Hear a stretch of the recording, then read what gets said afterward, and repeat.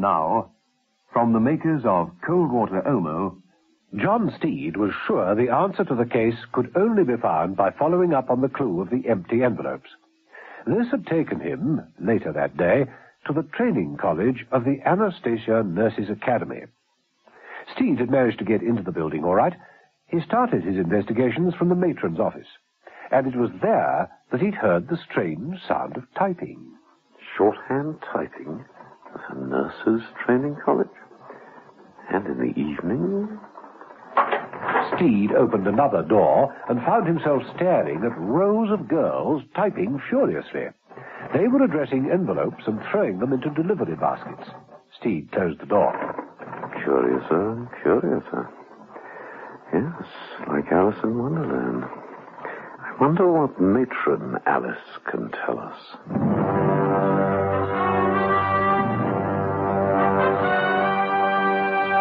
The Avengers.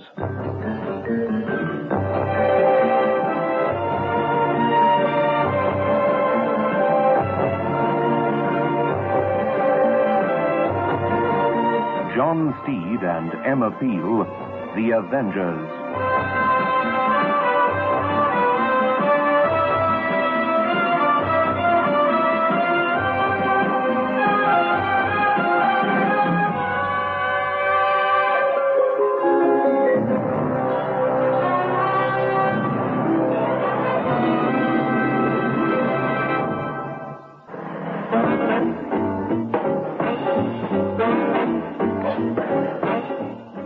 Episode 4 of this story, in which John Steed, still unable to find Mrs. Peel and baffled by the evidence to hand, nevertheless believes a few fresh clues are not to be sneezed at.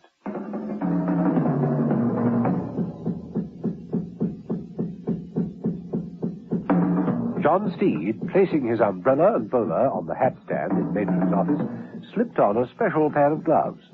He decided to risk turning on the light on the desk and started to make a thorough search of the room. Telephone directories. Hundreds of them. New York, Barcelona, San Francisco, Adelaide. All over the world. Files. Correspondence to be answered. Strange, there's nothing medical. What's this? From Colonel Morris Timothy, retired. Walsingham House. Dear Matron Alice, glad to know our plans are going ahead without a hitch. Keep up the good work. Victory, final victory. That is the aim, and it lies just ahead. Sincerely, Morris Timothy, Colonel retired.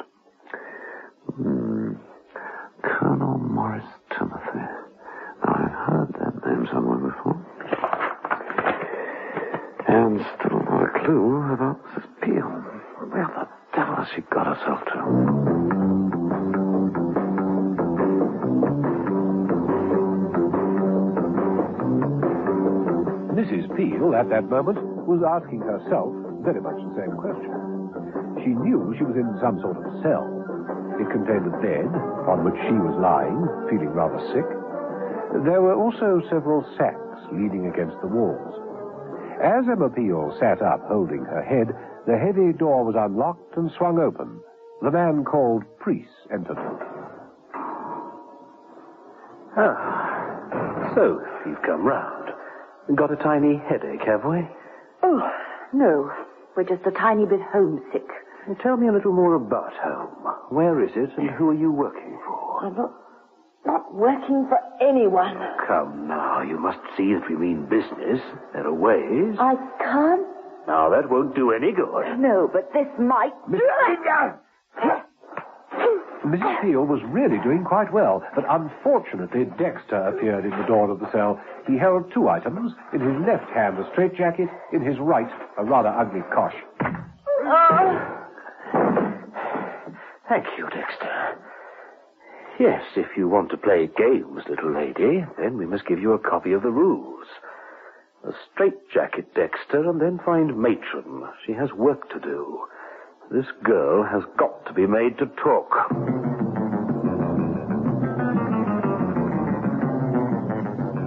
John Steed, meanwhile, had gone for a drive. Mother wasn't too pleased to see him.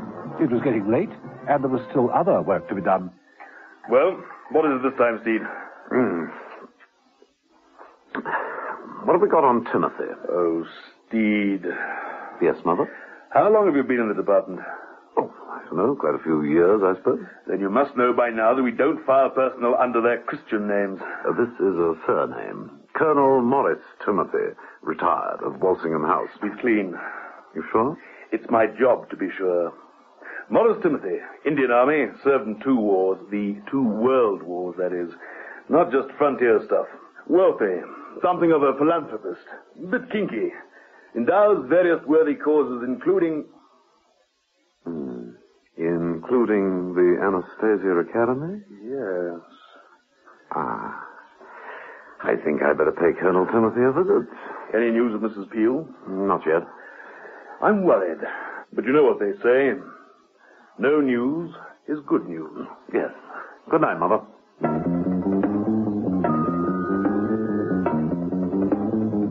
Walsingham House, residence of Colonel Timothy, retired, was large, old, and rambling.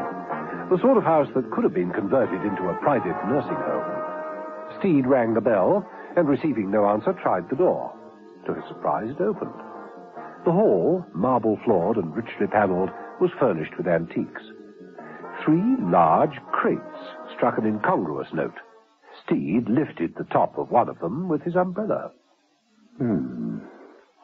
Full of handkerchiefs. And the next? Paper tissues. Curiosity, sir, was responsible for the demise of the cat.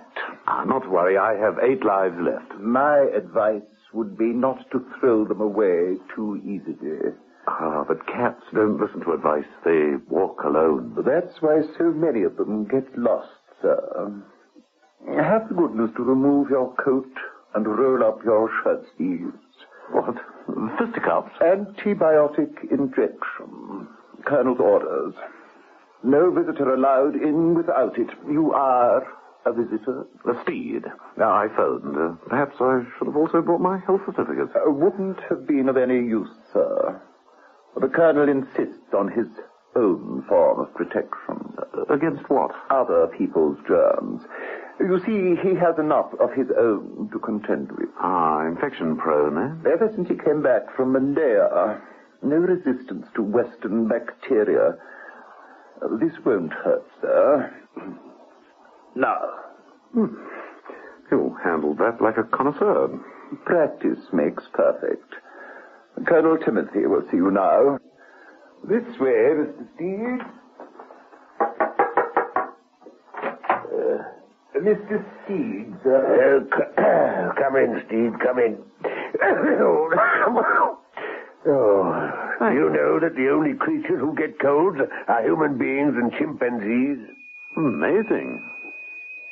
Uh, excuse me. Kettle's boiling. Got to have me inhalation, you know. Can I uh, assist? Uh, better not get too near. Uh, pour the boiling water into that bowl, there's a good fellow. Oh, certainly.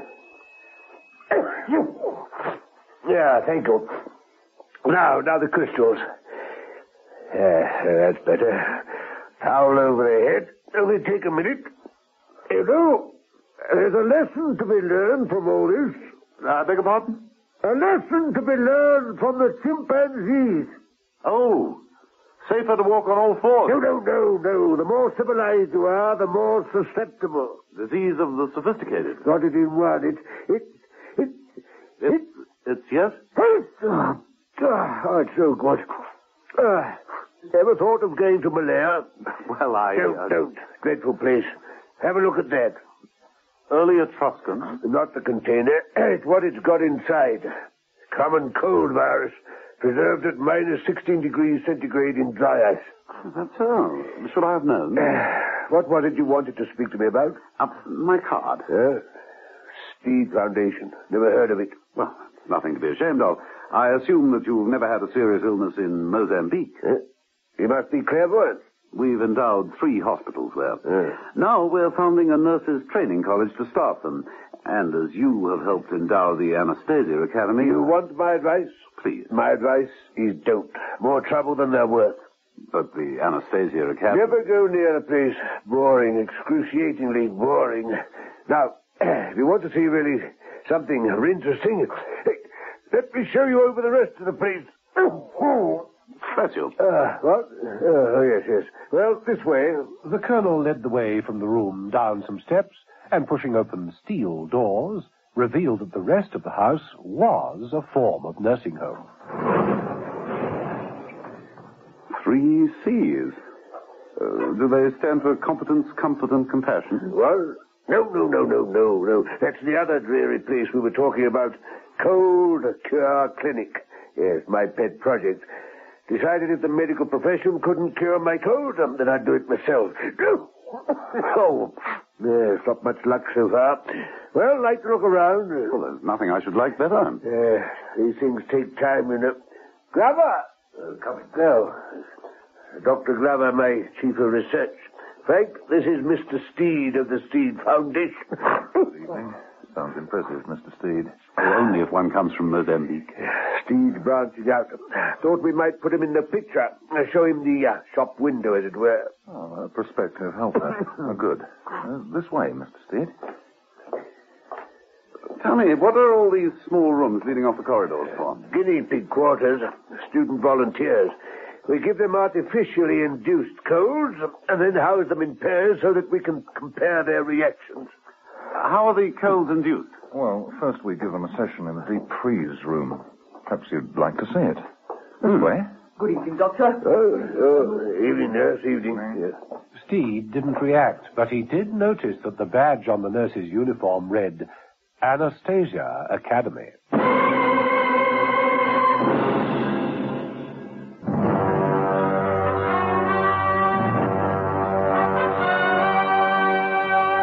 Avengers.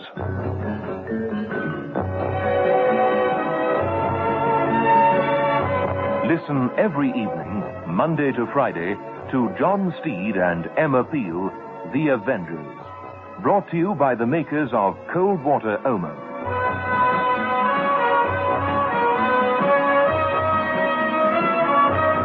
The Avengers.